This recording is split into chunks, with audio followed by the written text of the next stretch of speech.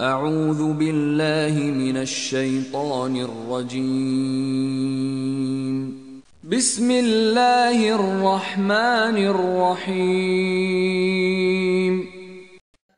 Muhakkak göklerin ve yerin yaratılışında gece ile gündüzün birbiri ardınca gelip sürelerinin uzayıp kısalmasında düşünen insanlar için elbette birçok dersler vardır. Gökten su indiren O'dur. Sonra biz onunla her çeşit bitkiyi çıkarırız. O bitkiden bir filiz, ondan da büyüyüp birbirinin üstüne binmiş taneler, başaklar çıkarırız. Hurma tomurcuklarından sarkan salkımlar, üzüm, zeytin ve nar bahçeleri yetiştiririz. Bunlardan kimi birbirine benzer, kimi benzemez.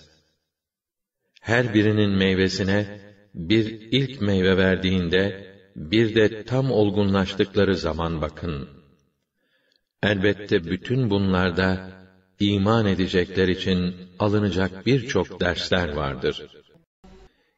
Gece ve gündüzün sürelerinin değişerek peş peşe gelmesinde, Allah'ın göklerde ve yerde yarattığı bunca varlıklarda, elbette Allah'ı sayıp kötülüklerden sakınacak kimseler için nice deliller vardır. Dünyada birbirine komşu parçalar, üzüm bağları, ekinler, dallı veya dalsız hurma ağaçları vardır ki, hepsi aynı su ile sulanmaktadır. Bununla beraber, yemede biz onların bazısını, bazısından daha üstün, daha kaliteli kılarız. Elbette bunlarda, aklını kullanan kimseler için, alacak nice dersler, nice ibretler vardır. Allah, o su sayesinde, sizin için ekinler, zeytinlikler, hurmalıklar, üzüm bağları ve çeşit çeşit meyveler yetiştirir. Elbette bunda düşünen kimseler için alınacak bir ders var. Hem geceyi ve gündüzü, güneşi ve ayı sizin hizmetinize verdi.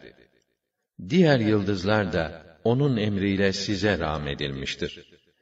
Elbette aklını çalıştıran kimseler için bunda alınacak nice dersler var. Yeryüzünde türlü türlü renklerle her çeşitten bitki ve hayvan olarak sizin için yarattığı daha neler neler var. Elbette bunda düşünen kimseler için alınacak ibret var. Yine odur ki denizi sizin hizmetinize verdi ki oradan taptaze et yiyesiniz ve takınıp kuşanacağınız zinet eşyası çıkarasınız. Denizde gemilerin suları yara yara akıp gittiklerini görürsün. Bütün bunlar onun lütfedeceği nasibi aramanız ve nimetine şükretmeniz içindir. Hareketiyle sizi sarsmasın diye yeryüzüne ağır baskılar çaktı. Sabit dağlar koydu. Amaçlarınıza ermeniz için ırmaklar, geçitler yerleştirdi. Yol bulmada yararlanacağınız daha birçok alametler, işaretler koydu. Yıldızlarla da bir kısım insanlar yol bulurlar. De ki, dünyayı gezin dolaşın da, Allah'ın yaratmaya nasıl başladığını anlamaya çalışın. Sonra Allah, tekrar yaratmayı da, ölümden sonra diriltmeyi de gerçekleştirecektir. Allah, elbette her şeye kadirdir. İnsanı, rahim cidarına yapışan bir hücreden yaratan. Oku, Rabbin sonsuz kerem sahibidir. Kalemle yazmayı öğretendir. İnsana bilmediklerini öğretendir.